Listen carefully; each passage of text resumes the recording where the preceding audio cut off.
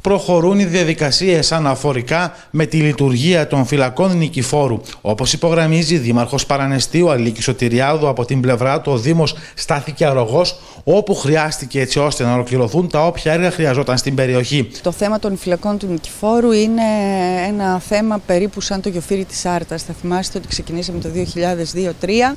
Έχουν περάσει πάρα πολλά χρόνια χωρίς να έχουμε σημαντική εξέλιξη. Από την πρώτη στιγμή που αναλάβαμε καθήκοντα ως Νέα Δημοτική Αρχή.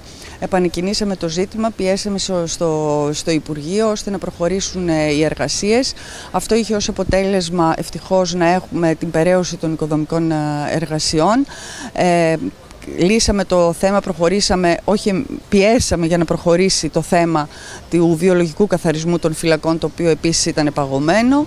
Το θέμα της ίδρευσης συμβάλλοντας και ως Δήμος στην κατασκευή, ε, την κατασκευή του δικτύου γίνεται από τον φορέα υλοποίησης, αλλά εμείς ως Δήμος υποστηρίξαμε αυτή την πράξη αναλαμβάνοντας να κάνουμε ανταποδοτικά μία αποκατάσταση χώρου που μας υποχρώνει το δασαρχείο προκειμένου να δώσει την άδεια διέλευση του αγωγού.